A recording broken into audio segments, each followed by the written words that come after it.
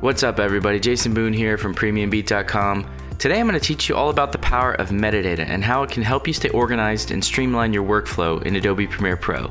So let's get started.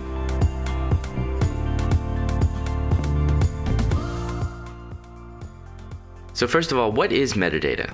Well, metadata is descriptive information about a file. Now, both video and audio files already contain a certain amount of basic metadata information, such as the file name, the type, the size, the path, location on your hard drive, the date, and the media duration. And you can add metadata information to clips using Premiere Pro's metadata panel. Now, if you work with a lot of media assets or you work with a group of other editors or both, metadata can really help you out immensely. By adding information to video and audio assets, you can quickly and easily find the information at a later date with a simple keyword search. So let's take a closer look at how to use metadata in Premiere Pro.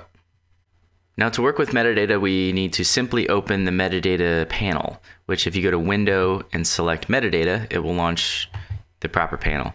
Now, if you want to work in a metadata or meta logging workspace, Premiere has a default workspace already set up.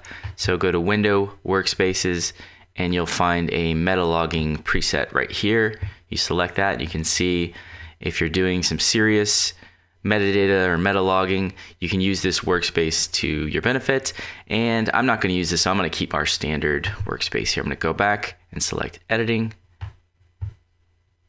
so now that we have the metadata panel opened up, you're going to notice a few things. We have three main sections here. I'm only going to focus on the top two here, clip and file. Now clip and file metadata are slightly different. Now let's take a look. If I select a clip here, that'll populate our metadata information here. First, let's look at clip.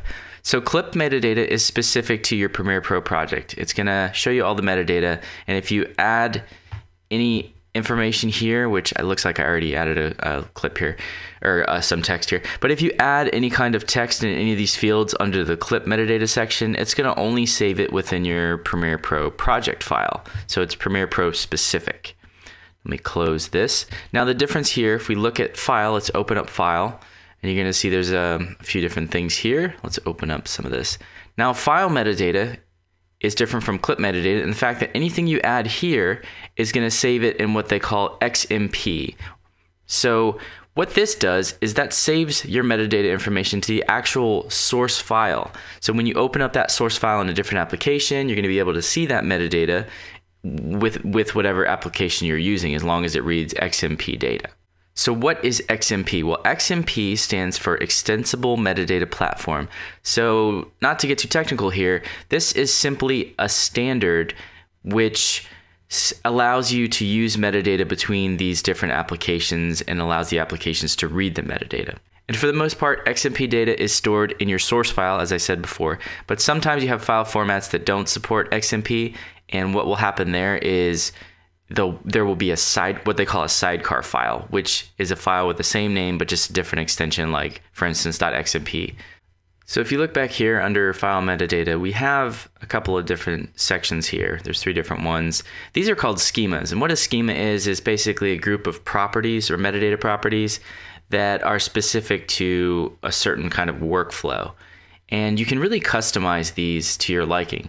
And if you want to customize them, you can go up to the metadata panel menu here and select metadata display. That's going to launch your metadata display dialog box. And if you look here, there's just a crazy, crazy number of schemas here that we can add and even customize. We could even drop down our basic and take away certain properties if we'd like, really, really customize it. And then even on top of this, we can add properties and create our own metadata display, even save out a custom setting or a, a custom schema. But we're not going to do all that. We'll just add a couple of different things here. Close this, see if there's anything that we really need here. Let's just add one other thing. Let's add like a Photoshop. Say we have some Photoshop files in there.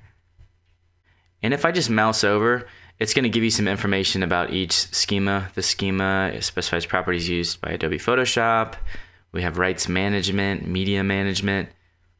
So again, there's just there's a lot to choose from depending on the kind of project you're working on will allow you to really customize your metadata display. So if we click OK, now if we look under the file section here, you can see it added our metadata information, which we can go through and adjust accordingly. Okay, so now let's go ahead and add some metadata to a few clips, and then I will show you how you can search those clips using that metadata information. So let's say we had, uh, you know, we had a shoot at Las Vegas Motor Speedway here. We have a bunch of clips that were shot by two different videographers. So let's say we just imported all this in and we want to go in and add the name of the videographers to each clip so that later on when a, a, producer comes in and say says something like hey i need all the clips that you shot um, like he'll come to me specifically and say hey boone i need all of your clips blah blah blah or i need all the i need all the angles because you know let's say i was in the middle of the racetrack and he says i need all the you know angles of that clip or of that camera where you were at. So i can go through and let's say it was just a few specific shots here that were my specific clips. So if we go into Dublin Core here, Dublin Core, I can just go through and add my name under the contributor section. See eight, nine, and I'm kind of doing this. There's no specific, you know, I'm just saying that I did a couple of clips here to show you how the filtering is going to work out. I didn't actually shoot these specific clips. Okay, so I added to, like you saw clip 8, 9, and 1, I added my name to. So now let's say there's another videographer here that shot uh, 14, 15, and 16, and his name is Brian. 14, 15, and let's say like the last clip. Way down here. There's Brian. Okay, so now, the way we can search this is if you look over here in our project panel, we can click over here. And then if I just type in Brian, it's going to immediately filter out. And it says right here in parentheses filtered. And it's showing us those three clips that we added the metadata information um, with Brian's name. And if I cycle through them here, you'll look in the metadata panel. It's bringing that information up. So I can X that out and then type in my name and then, yeah, there it is. It says filtered, and it's got the one, clip 1, 8, and 9. So you can see if I were to add a plethora of all kinds of different metadata information, it makes this very searchable by all these different keywords. And this is a great job for like say an intern or something, but you would want to use that meta logging workspace at the beginning. As soon as you import your clips in and you name them, you can go through and type in a bunch of metadata information, which if you do the work up front, it's going to make your editing job much more streamlined and easy. And the last thing I want to show you is within the project panel here. I'm going to go ahead and full screen this project panel. Now, if you look over here, as I showed you before, there are these columns, which are the metadata display columns. And again, we can customize this. So if I go up to the panel here and select metadata display, just as within the metadata uh, panel, it'll bring up the same dialog box. And then whatever properties and schemas I select here, it's going to add these as columns. And then I can even, again, save out a custom metadata display for my project panel which again I could I could take everything out of here and just have my contributor or videographer column. So then we could automatically we don't even have to do a keyword search. We can just uh, search by this column and arrange by alphabetical by that column. I mean the possibilities are are really endless.